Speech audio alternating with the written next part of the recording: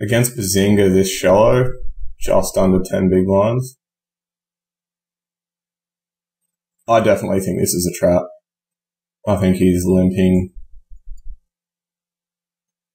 Yeah, I'd probably just check the Queen 6 here. I think he's trapping a lot. If we don't think he's trapping, we should be jamming because Queen 6 suited plays so well. All in this shallow. Um, now we're going to be in a tough spot here. 9-7 offsuit isn't easy. Did he limp there?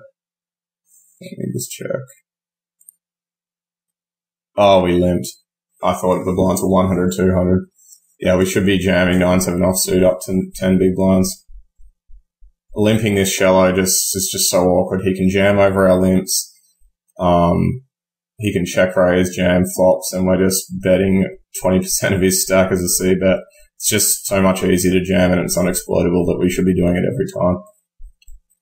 And then back to the Bazinga hand, I definitely think he's limping. He'll be jamming really wide this um, shallow, eight big blinds to 10 big blinds deep. Um, and I don't think he'll be limping anything other than monsters. Yeah, he definitely has a strong hand here.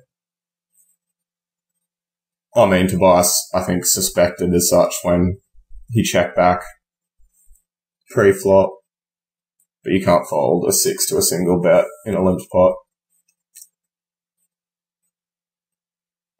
It was very suspicious though, especially with that turn bet. Looks nutted.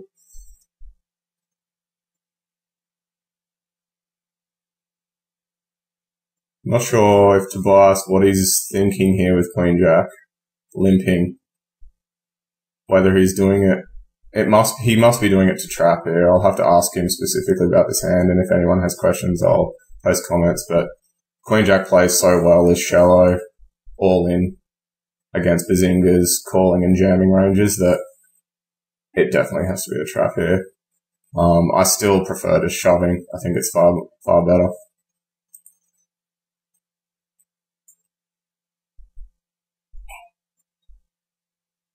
So now we've basically flopped the nuts here with Queen Jack High. Bazinga can never have an ace. He has hardly any kings at all. Yeah, and he suspects a trap himself and just folds. And I mean, Bazinga can't really check raise bluff there. We, we, um, he's not repping anything by check raise bluffing and he knows we know that. Now here with kings, I think the best play is to jam to maximize our value.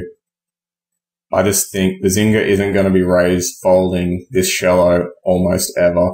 All his weakest, junkiest hands that he can get in pre this shallow, he's jamming. Everything else, he's raised calling. He'll be raised calling as light as King 8, King 9, uh, Jack 10 suited even, because they have too much equity against our jamming range.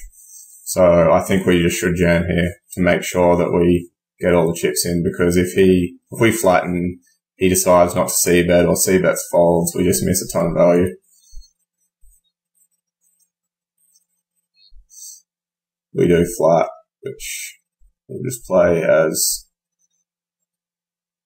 now this is a pretty good board for us because we can't represent the ace. Yeah. And I mean, when we check raise, 60% of our stack